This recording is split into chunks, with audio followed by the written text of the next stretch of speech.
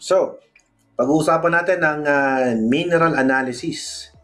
So, ito na po yung mga mineral analysis na mababasa nyo usually sa mga bottled water. Okay? So, saan ba nakikita to? Ito yung nakikita nyo kung, kung minsan sa mga likod ng bote ng tubig. Nutritional facts ang nakalagay doon.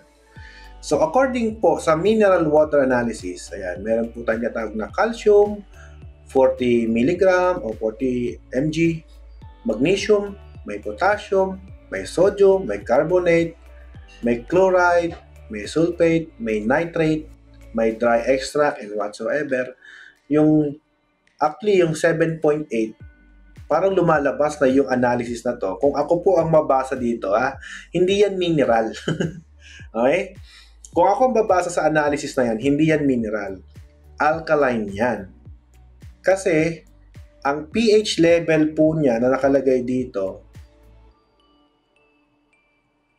7.8. Ayan. So kung nakikita nyo, pH at source.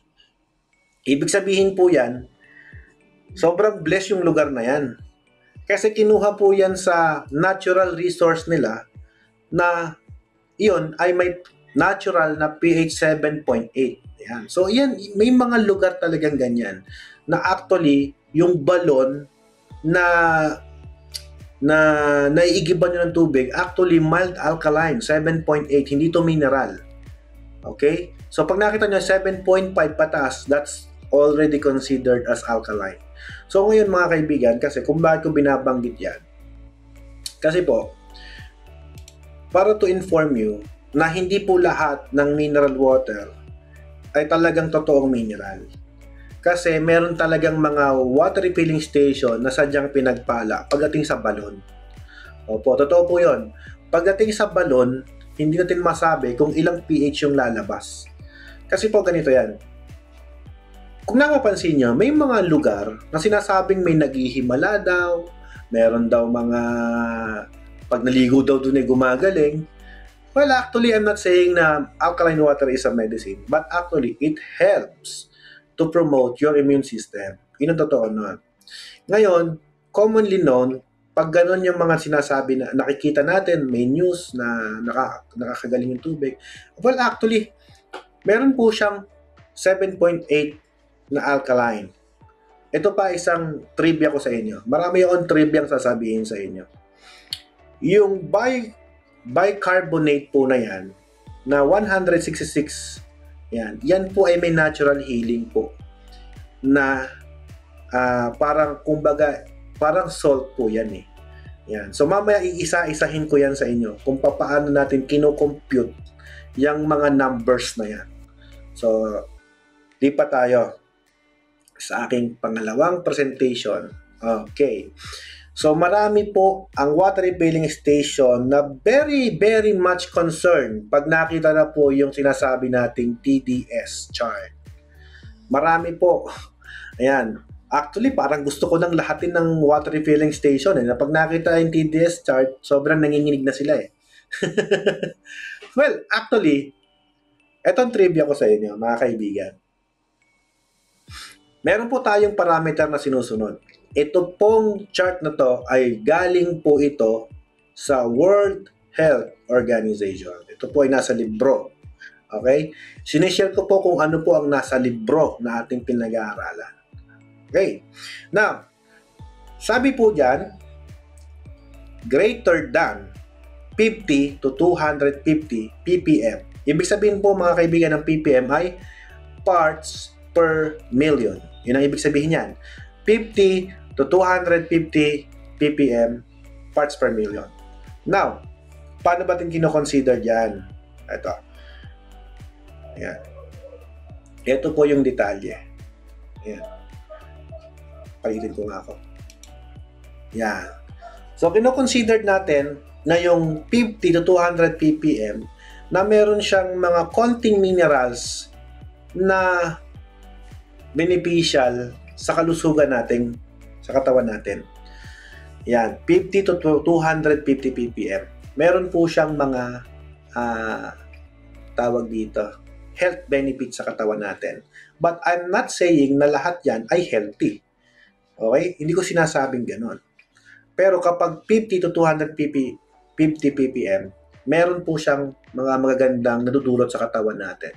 Kuha nga ng bottle, kunin mo yan yung kulay. Saglit, magpapakita ko sa inyo ng sample. Ayan, yung summit. Sige, kunin mo yung summit. Papakita ko sa inyo. Itong si summit, nakalagay dito sa kanilang bote. Total dissolved solid ay 110. Ayan ha, baka sabihin nyo kasi niloloko kayo eh. Naka-label po yan. Nandali, zoom ko ha. Ayan, eto ah. Oh, hindi ko sinisiraan yung kumpanya. Binibuild up ko nga sa inyo eh. Tuwan-tuwa siguro sa akin si Summit. so eto ah. Ayan, eto, eto, eto, eto. Ah, nababasa ba? Nakikita ba sa ating camera? Kita ba? Kita ba yan? Yan. Sige, kung di nakikita, babasahin ko na lang. Sabi, mineral content nito ay may bicarbonate na 80, may calcium na 15, meron siyang magnesium na 5. Picturean ko kaya pare. Pwede kita picturean to eh. Saglit, picturean ko. Para lahat ng sinasabi ko eh, I could say na ito ay legit. Picturean ko lang. Right. So, o. Picturean ko na mga kaibigan. Ganun lang ako dali gumawa ng ano. Yan. So, sabi po dyan, ng boting binabasa ko kanina, meron po siyang TDS na 110. Ayan po, hindi po, they, they cannot deny that. That's 110. Pero sinasabi nila, ang mineral hindi masarap. Eh bakit itong tubig ito pagkasarap-sarap? Sabi ko nga ulit, wala po yan sa mineral purified o alkaline. Nasa machine niyo po yan. Kapag palpak ang machine mo, palpak din ang tubig mo. So kung watermax ang tubig mo, sure na masarap ang tubig mo. Ayan, 110 ppm with pH 7. So nakita nyo 7. Ibig sabihin neutral. Walang alkaline, wala ring acid. Okay? 7. Considered as mineral water. Ah, mineral water. so ayan po yung ating kumpletong detalye. Okay. So balik tayo doon sa ating comment section ay sa ating yan. Galing ko na mag-operate ah. Okay.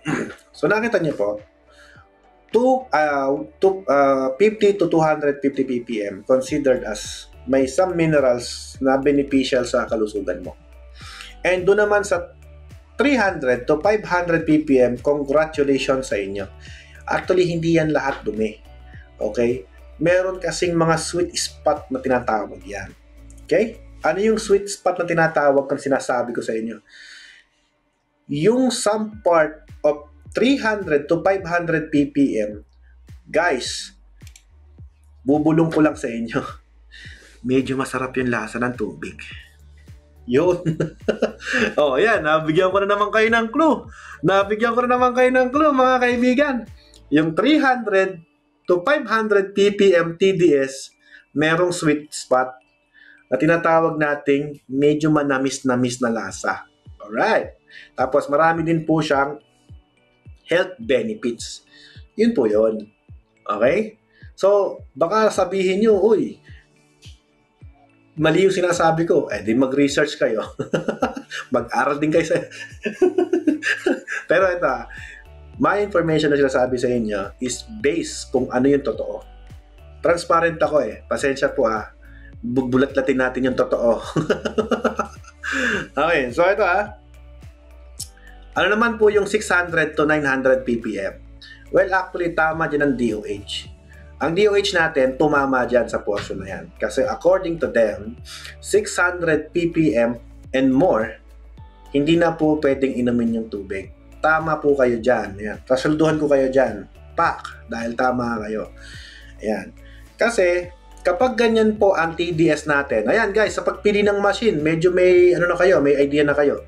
Kung 600 to 900 ppm ang TDS ng machine mo, kailangan nyo na po ng tinatawag nating reverse osmosis system to remove the TDS. Ayan. Hindi na rin po siya, hindi ko na rin siya kino-consider na dapat daily consumption, uminom ka ng ganyan kataas ang TDS. Kung meron kang kidney failure, kung meron kang sakit sa bato, ah, sigurado, magkikita kayo ni doktor palagi. Mamumuo palagi ang bato mo, hindi ka gagaling. So, ganyan po ah, 600 ppm to 900 ppm. Ah, I recommend gumamit na kayo ng reverse osmosis system dyan. Purified machine ang kailangan niyo po dyan. Okay? Yung 1,000 to 2,000 ppm, terrible, not recommended for use. Totoo po yan. Hindi po siya recommended for use. Kaya nga, nag-design ng Watermax na machine na kayang linisin yung ganyang kaduming tubig. Actually, medyo maalat-alat na yan. Pero don't worry, hindi yan ang huli ang lahat.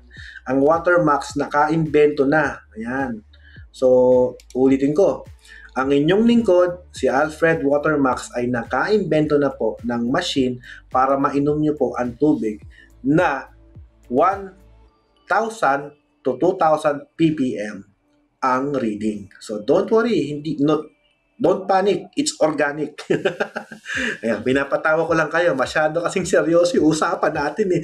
Ayan, mamaya-maya magiging scientist na kayo kasi papasok tayo doon sa mga chemical compounds and doon sa mga tinatawag natin ng combinations of elements pag pumasok ko tayo sa combination of elements, guys, eh, mag, kumuha na kayo ng ballpen papel nyo, magpipicture-picture na kayo dyan, kasi medyo madugo-dugo sa ilong yung pag-uusama natin.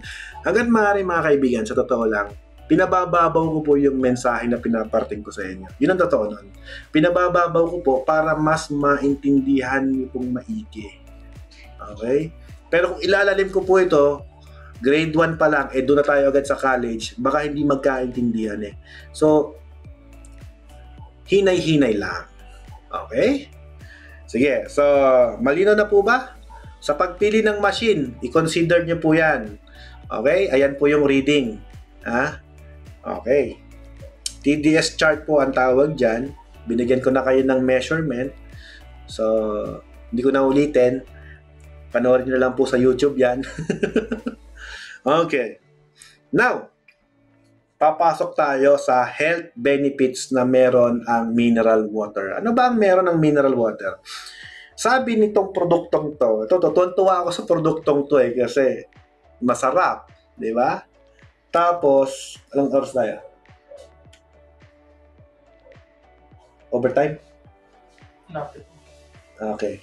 So, guys, sandali ah. Magbe-break lang ako. Huwag kayong aalis. Ilang minuto lang to. Inom lang ako ng masarap na tubig, ang pambansang tubig, Water Max Enterprises. Ang inyong best water refilling station provider. Ito po ang pambansang tubig natin. Okay. Si Erwin Tulpo ay tiwala dyan.